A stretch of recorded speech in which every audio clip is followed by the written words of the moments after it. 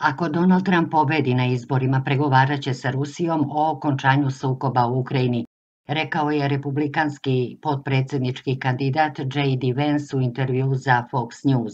Donald Trump je obećao da će preći na pregovore sa Rusijom i Ukrajincima kako bi brzo okončali ovaj problem i kako bi Amerika mogla da se fokusira na pravi problem, a to je Kina, rekao je Vance. Prema njegovim tvrdnjama, time će se izbeći rizik od eskalacije i nuklearnog rata. Inače, J.D. Vance, senator iz Ohaja, sinoć na Republikanskoj konvenciji u Milwaukeeu proglašen za podpredsjedničkog kandidata republikanca Donalda Trumpa. Vance je za CNN samo pre dva meseca pričao o potrebi prestanka podrške Ukrajini, pa je čak priznao i da su Rusi u prednosti u aktuelnom sukobu. Trenutno su Rusi u prednosti u odnosu na Ukrajince, a odnos u svim sukobima je 5 prema 1.